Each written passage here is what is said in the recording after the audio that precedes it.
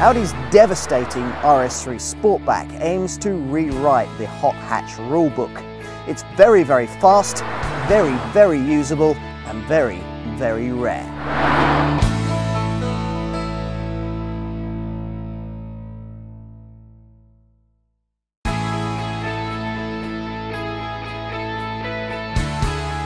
Where will it all end? 20 years ago, it was almost unheard of for even the fastest hot hatch shopping rockets to boast more than 200 brake horsepower. Now, the quickest among them must have much more than that, a new breed of super hatches prioritising speed above all else. It's a category that in recent times has been thrusting gullible buyers through a continual one-upmanship power spiral. 261 brake horsepower in a, a Volkswagen Scirocco R, 300 brake horsepower in the original Ford Focus RS, and 337 brake horsepower in a BMW 1 Series M Coupe. All are fast, not all, especially these three with power directed through just two driven wheels, are usably so. But here's a car that is. Audi's RS3 Sportback. It's a product of a very special division within Audi, Quattro GmbH, which as the name suggests, jealously guards a rich heritage of high performance four-wheel drive engineering. Uh, first founded in World Championship rallying and more lately perfected in a range of awesomely capable production models, each carefully chosen to wear the famous RS or Rennsport badge. Not all have pleased the pimply-faced, opposite lock-smoking writers of motoring magazines, but you sense that that's to some extent intentional. Other rivals might offer a slightly more exhilarating driving experience uh, to a fortunate few when conditions are right. An RS product, in contrast, with its Quattro four-wheel drive, is designed to tame huge horsepower in a way that can be enjoyed by many more on almost any road at almost any time. And the difference is important, particularly when it comes to a car with 337 braked horses under the bonnet. Let's try it.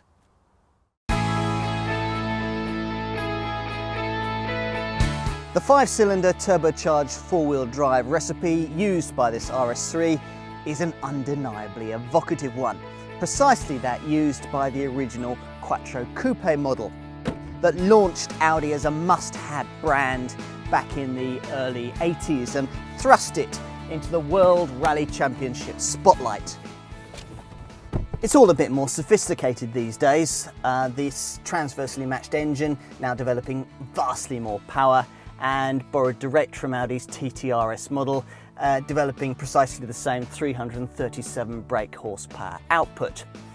Now, this engine fitted here doesn't sound quite as raughty as in that car, but fire the engine and as the rich bass five cylinder tone fills the cabin, you're still left in no doubt that what lies ahead is going to be a very special experience. Just how fast this car feels is difficult for me to put into words or capture on film. I could talk of a launch control assisted rest to 60 sprint time of 4.6 seconds. That's as fast as the original version of Audi's R8 supercar. Porsche 911 style performance that throws you at the horizon from the point that the turbo cuts in at around 1600 RPM and had you a runway would carry on until the speed limiter stopped the fun at 155 miles an hour. I could talk of 450 newton meters of torque that dispatches B-road dawdlers with hardly a thought, or a power to weight ratio as good if not better than elite machinery like Maserati's Gran Turismo, but you won't get it from any of that. You see, I've driven faster cars than this, but very few that I wanted to drive this quickly. At the wheel of this machine, you're suddenly transported into a world where you complete a twisting section of your favourite country road and wonder whether a Schumacher, an Alonso or a Hamilton could really have driven it that much quicker. You know, of course, that the car is to some extent compensating for your ham-fistedness, but somehow it doesn't matter. You have at that moment a glorious, if slightly dangerous, feeling of invincibility. Now, for such a journey, you have, of course, punched the sport button on the dashboard here. uh, sharpening the throttle response or releasing the full 1.2 bar of turbo pressure. At the same time, it opens a flap in the exhaust to further intensify the glorious engine note as you flip up and down the 7-speed twin-clutch S-Tronic gearbox with its steering wheel mounted gearshift paddles. It's a route you could have covered maybe a tenth or two quicker in a BMW 1 Series M Coupe or M3 or any supercar, but at the end of it, your palms and forehead would likely have been sweaty, your heart pumping furiously.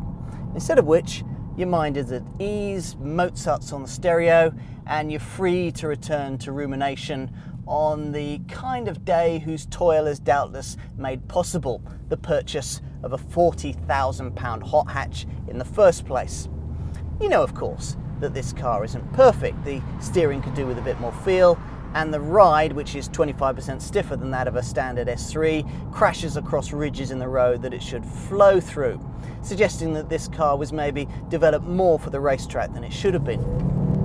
It's also unfortunate that the A3 model's age means that this one can't be fitted with some of Ingolstadt's latest engineering gadgetry. The kind of stuff we've already seen on the larger S4 model, the Drive Select adaptive suspension for example, or the kind of sport differential able to juggle power from side to side at the rear. Yet, thinking back on my time with this car, you know, the really hard driving times, as the Quattro drivetrain comfortably shuffled torque between front and rear axles to suit surface and speed, I can't remember ever really missing the lack of a few knobs and buttons to push, nor can I really remember wishing I was in anything else.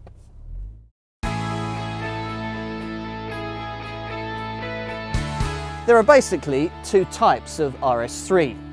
You've got the extrovert kind, which has the standard 19-inch alloy wheels painted in black with red highlights, hardback bucket seats and Alcantara on the steering wheel, and the kind like this one that doesn't need to shout about its capabilities. It's uh, painted in a less vibrant colour. It has uh, unpainted wheels, standard sports seats and more restrained uh, perforated leather on the steering wheel.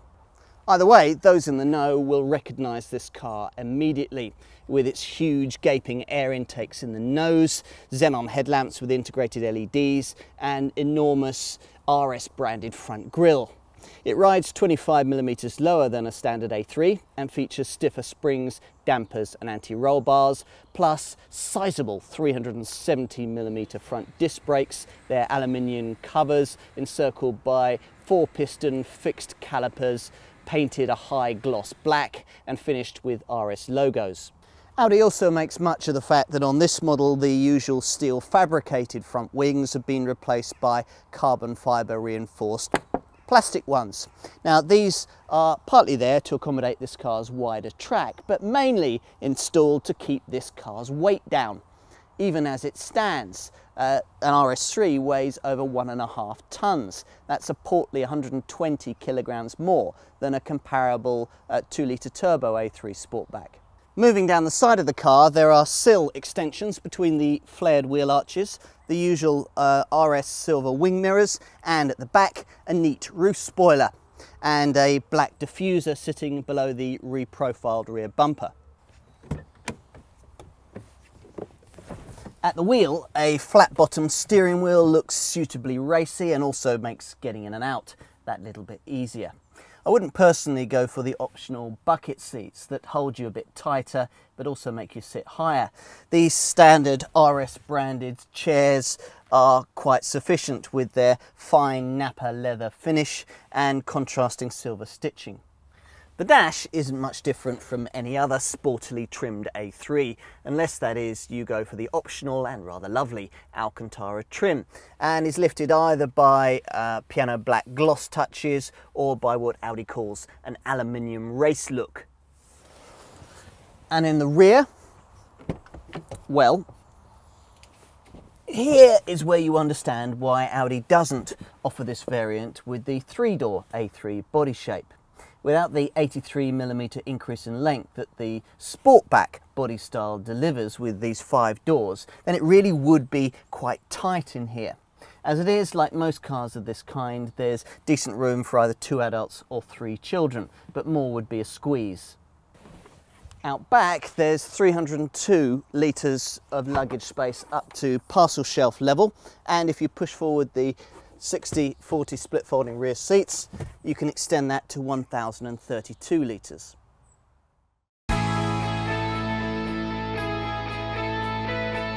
As usual, there are different ways of looking at the value proposition of a car of this kind. After all, many people would see around £40,000 as a great deal of money to spend on a Focus-sized family hatchback, even a very fast one. Your local Audi centre, of course, will tell it differently, probably pointing out that this car is £7,000 less than their TT RS Coupe in equivalent guise, a model that offers exactly the same engine and a lot less practicality. They might though make less of the fact that an RS3 will cost you around £7,000 more than an S-Tronic equipped Audi S3 hot hatch and it gives you, well, less than 80 brake horsepower extra. Ultimately though, neither argument really matters very much since all 500 UK examples of this model have long been sold out and Audi won't be building any more. If you did happen to find one and wanted an opposition model to compare it to, then uh, most experts would probably point you in the direction of BMW's 1 Series M Coupe, a car with uh, similar power output and offered at a similar price, but giving you only two-wheel drive. Now, uh, if you don't want a max power style rally replica, something like a Subaru WRX STI or a Mitsubishi Evo 10, and you're looking for a, a classy four-wheel drive alternative to this Audi of similar size, then you're looking at paying less money but getting a lot less power. Rivals in this class include Volkswagen's less focused but arguably more usable 267 brake horsepower Golf R, essentially the same package as an Audi S3. Now most of what you're paying for with this car lies under the bonnet. But as you would expect for the money, there is quite a long roster of standard equipment. That includes uh, xenon headlamps with integrated LED daytime running lights, 19-inch alloy wheels, acoustic parking sensors, leather sports seats, electronic climate control and a DVD-based satellite navigation system with Audi's MMI multimedia interface. There's also uh, the 7-speed S-Tronic automatic gearbox, of course. There's no manual option. And the S-Tronic system here incorporates a launch control so you can blow away less potent machinery at the traffic lights. In terms of options, you can specify um, front bucket seats and uh, also matte aluminium roof rails along with matte aluminium or black styling packages. There are five paint colours to choose from and a range of fearsomely expensive custom paint finishes. Safety-wise, there are all the usual airbags, and to try and ensure that you never have to use them, there's an almost endless roster of electronic acronyms to look after braking, traction and stability control. The last named item also has a sport setting that loosens things up a bit if you're throwing the car around on track.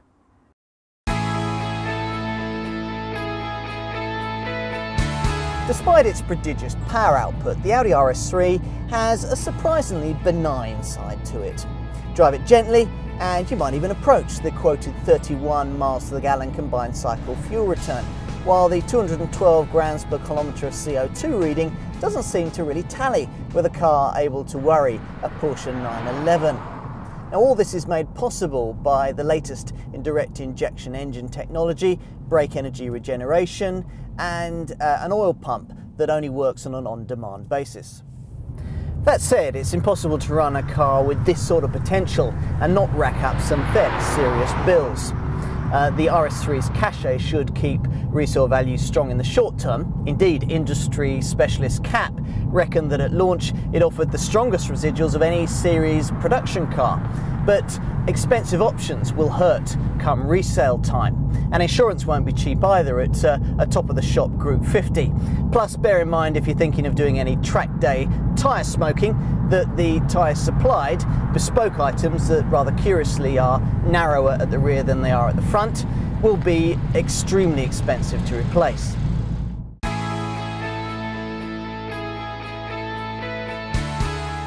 There's a lot to be said for excess capability, something you'll find plenty of in this RS3 Sportback.